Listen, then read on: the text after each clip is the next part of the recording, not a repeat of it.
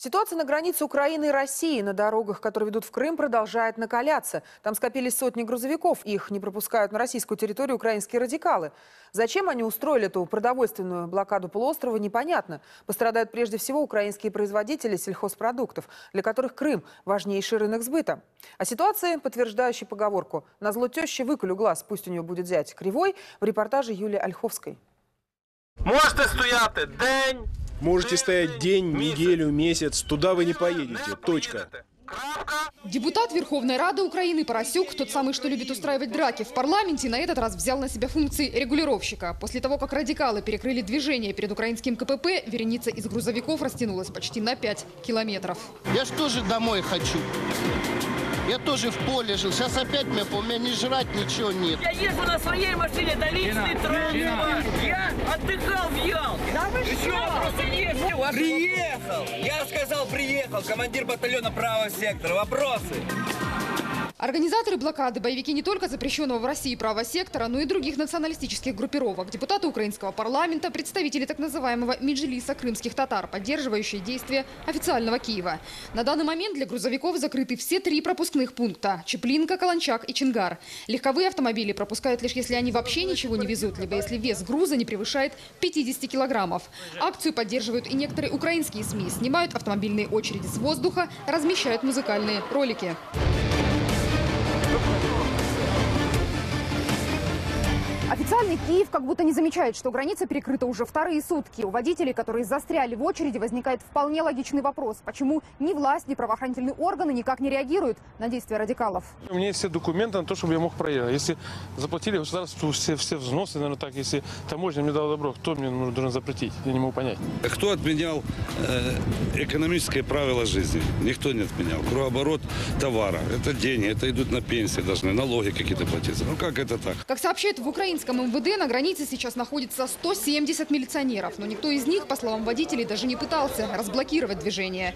При этом и с украинской, и с российской стороны все контрольно-пропускные пункты работают в штатном режиме. Однако со стороны Украины грузовики до них просто не могут доехать. Их разворачивают за несколько километров до границы. Никаких сбоев нет, то есть мы готовы к оформлению лиц и транспортных средств, следующих как на въезд в Российскую Федерацию, так и на выезд из Российской Федерации. По мнению политологов, идея устроить блокаду полуострова выглядит как минимум странно, если вспомнить заявление президента Порошенко о том, что Украина не должна забывать о Крыме.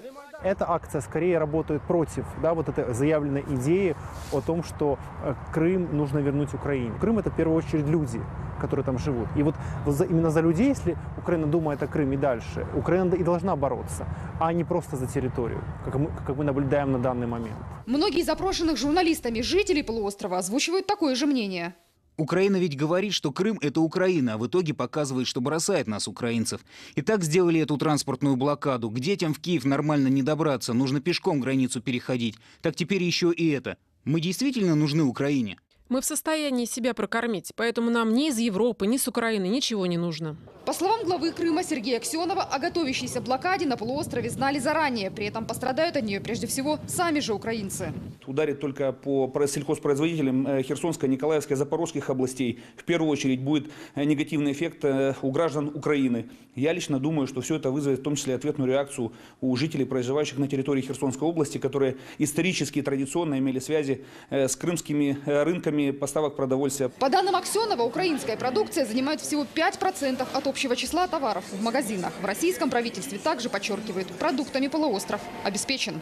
Мы соответствующим образом подготовились, и регионы России, которые оказывают шефскую помощь, начиная с апреля прошлого года, шефскую помощь Республики Крым, э, обеспечили поставки в, соответствующие торговые сети, поставки продовольствия. Никакого ажиотажа, повышения цен в связи с этим э, в настоящее время нет. Крымские татары обвинили поддержавших акцию представителей Меджлиса в том, что те пренебрегают интересами своего же народа. Продовольственная блокада, блокада границы между Крымом и Украиной – это, скажем, один из шагов, предпринимаемых э, ими для того, э, чтобы э, отягощить ситуацию именно крымских татар. Потому что на сегодняшний день многие крымские татары занимаются торговлей между Украиной и Крымом. Тем временем организаторы заявляют, что акция бессрочная. Называют ее приграничным Майданом, продолжают сооружать баррикады из бетонных блоков и строить в поле сцену. Юлия Ольховская, Мария Михневич и Наталья Литовка. Первый канал. Украина.